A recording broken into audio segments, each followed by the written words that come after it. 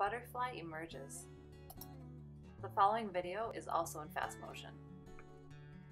The entire process takes about an hour.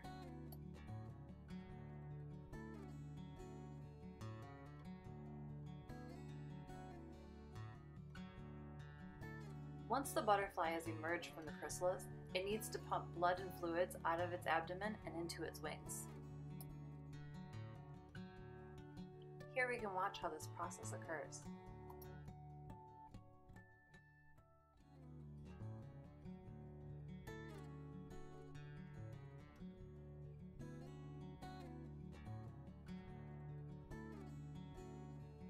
During this process, the butterfly releases some fluids onto the paper towel below. Here we can see this process again at 20 times the speed.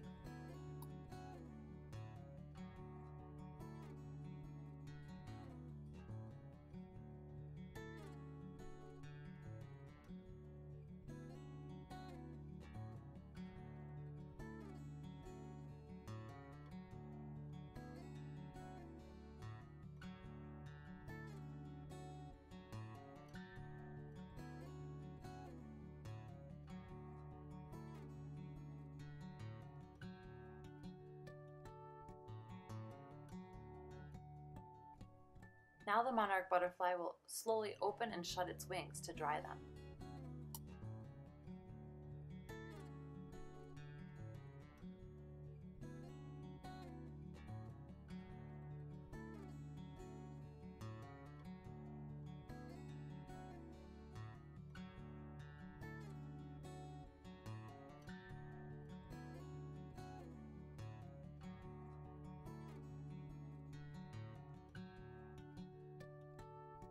Now it's ready to fly off in search of nectar and a mate.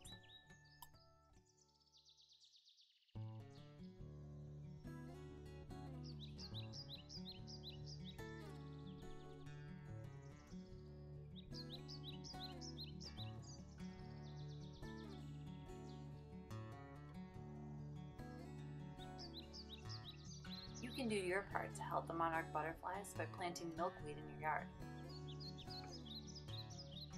That you enjoyed learning about the monarch butterfly cycle.